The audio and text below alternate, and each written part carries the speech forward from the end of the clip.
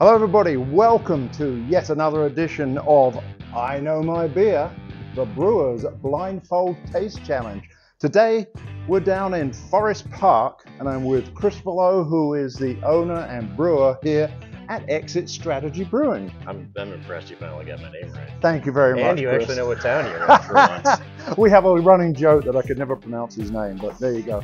Um, anyway, today we thought that uh, as uh, he's here brewing, we thought he'd get and take some time out. I think you finished your brewing day there, right? Yeah, we're about halfway done. You're about halfway done. Okay, good. And we'll see whether or not he knows one of his beers from a BJCP, that's the Beer Judge Certification Program. 2015 guidelines, they provide you with commercial examples, and one of those is sitting underneath my Union Jack here, and we're going to reveal that. Are you ready, Chris? I am ready. Okay, Don the Blindfold. As I say, I think that's a great beer name. Okay, you can't see anything, right? Nope. Okay, how many fingers am I holding up? Twelve.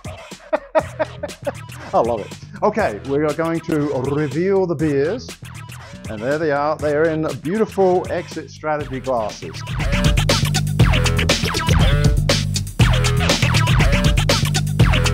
So now what I'm going to do is I'm going to hand you one of the beers and you're going to taste it. That's my hand. How are you? Hi, Welcome. How are you? Good to see you. Just wait. and then you're going to taste it and then we'll give you the other one. You can taste that. Fair enough. Then you can tell me if you know your beer and what the style is, okay? All then we're going to take the blindfold off, give him a chance to look at them, and because if he gets it wrong the first time, he's got another chance. Okay, All righty. you ready for this? Sure. Okay, here we go. So here is beer number one. Hold your hand out. Oh, there we go. You've got it. Okay, sip away, and talk us through it as you're going, as you're doing the sipping. Tell us what you're thinking and smelling. Kind of got a hoppy and malty nose. little sweetness on it.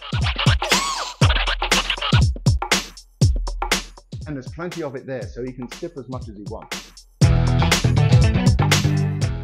Mild bitterness. Kind of like sweet on the end of it.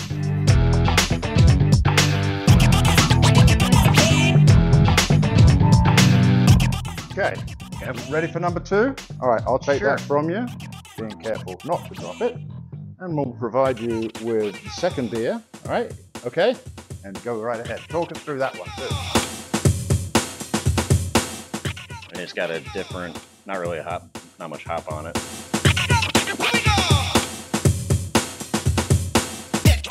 And I will say, folks, that once he's finished tasting these, we'll let you know exactly where these beers came from, obviously. Well, we've put that up for you before anyway, but we'll give you a little more insight into it.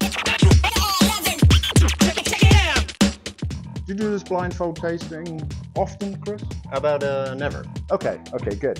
It's a first.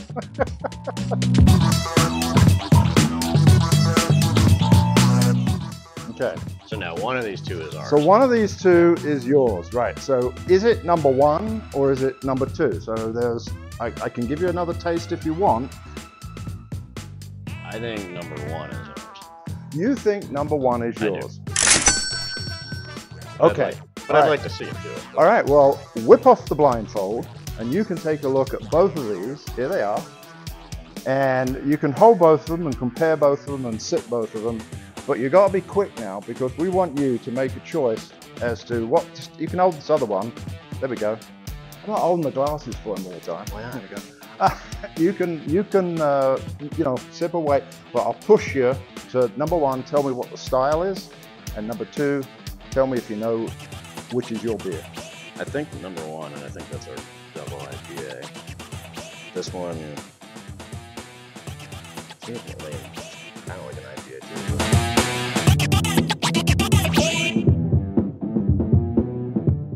So you're going with that one. So what is this double IPA? I think that's JD, JD, which is Judgmental Dick. Judgmental Dick. This one might be an IPA, but I'm not 100% sure. Well, you're 100% correct, Chris. Oh, okay. Indeed. You have picked out your beer. He knows his beer. So this is your Judgmental Dick. This one is from Three Floyds and it's Dreadnaught, Oh, okay. which is a double IPA. Now, I have to tell you that this both of these came in cans, and I think your can is probably fresher than the can. Let me get the can. Hang on, step aside here. I've got this here. I want to see on the bottom if we can tell what date this was. Can you tell that? March 9th, 23. Okay, so March the 9th, 23. So here we are in May. So it's two or three months old. So what does that tell you? And I get yours out for comparison. We cut, we've got to be fair. This is this is kind of like you know the BBC. They have to be fair and balanced, sure. right? So there is uh, there's Judgmental Dick, and uh, telling the people that's Dick is the name of the guy on there, and he was a guy who was very judgmental, right? He was. He was So, indeed. Good so there friend, we go. too. So. Yeah, there we go. So, and there is Dreadnaught. We've got that one. So you got it right. 100% correct. So I'll tell you, folks, Just like a broken clock, right? What's Chris knows his beer.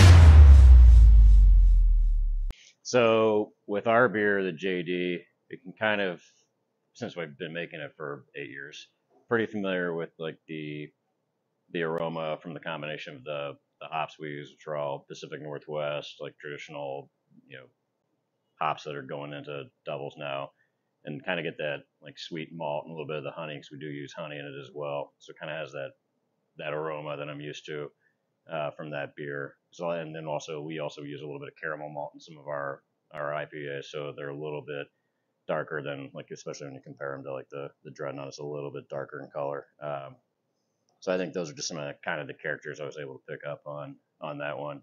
And I don't know if the, if the hops from this one are kind of hiding the the hops on the dreadnaught because I didn't get much in terms of the the nose, like a hoppy nose on it. Uh, and I think the bitterness was maybe a little bit more subdued than than ours was, but that could just also be doing a back-to-back IPA as well. I forgot to ask you, Chris, what's the ABV? Ours is eight percent, As how much? eight percent on JD. Okay. So I don't know what dreadnaught is. Does it say? It's nine point four, so a little bit a little bit higher alcohol. So maybe a little bit more alcohol burn on the on the dreadnaught as well. Well, Chris, you certainly did well. Mm-hmm. And you know your beer. Yay!